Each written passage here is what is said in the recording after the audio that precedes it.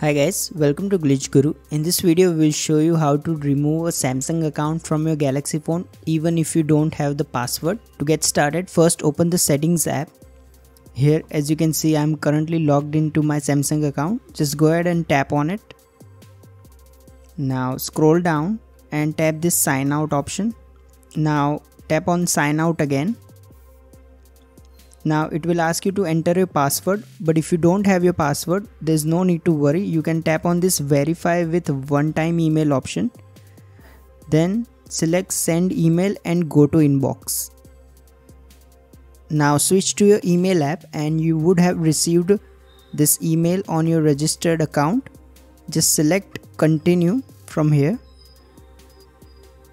now once this is done, you can move back to the settings app and it will say signed out.